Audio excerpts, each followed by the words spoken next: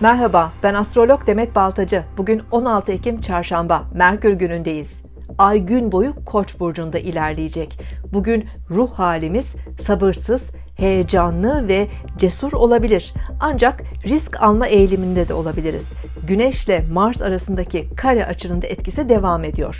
Gün genelinde düşünmeden hareket etmek, sabırsız davranışlar kazalara, sakarlıklara yol açabilir. Buna mümkün olduğunca dikkat edelim. Özellikle öncü burçlarımız Koç, yengeç, terazi ve oğlaklar bu etkiyi daha fazla hissedebilir. Zaman zaman stres ve gerginlik nedeniyle baş ağrıları, migren problemleri söz konusu olabilir. Bir yandan da Akrep burcundaki Venüs ile Balık burcundaki Neptün arasında güzel bir su üçgeni var gökyüzünde stresli hissettiğimizde sanatla ilgilenmek, maneviyata yönelmek çok faydalı olabilir. Yaratıcı enerjilerimizi bugün ortaya koyabiliriz.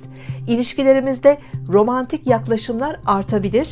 Özellikle su burçlarımız, yengeç, akrep ve balık burçları bu romantik etkileri daha fazla hissedebilir.